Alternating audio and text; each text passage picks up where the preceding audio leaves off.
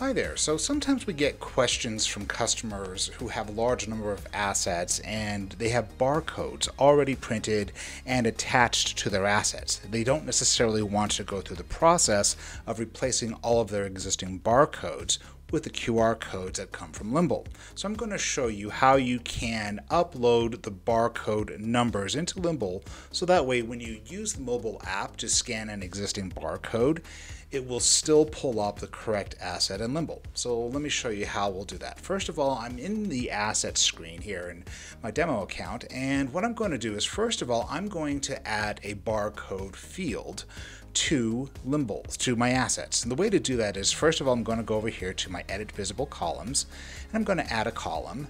I'm going to name it barcode, and I'm going to make it a text field. And the reason why I want to make it a text field is that it just makes sure that all the data imports cleanly without you know, possibly getting garbled if you have a bunch of number sequences.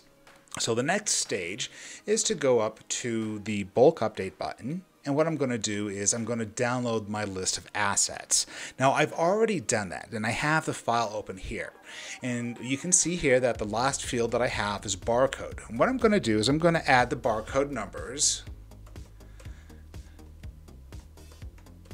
I'm just going to copy them down. Now, usually you might have a list already existing. You can just copy and paste those into your, your spreadsheet here um, for the bulk update. I'm going to go ahead and save the file. And now I'm going to upload the file back into Limble.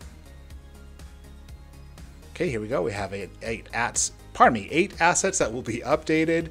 I'm to go ahead and confirm. And there we go. You can see here that the barcodes have been added. So now when you use a mobile app to scan any existing barcode, the app will search for that number that's associated with the barcode and it will pull off the uh, appropriate asset.